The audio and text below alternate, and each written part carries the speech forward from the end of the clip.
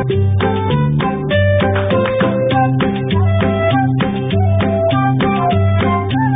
so now we have here the, the same goat that we purchased down in the market. Mm.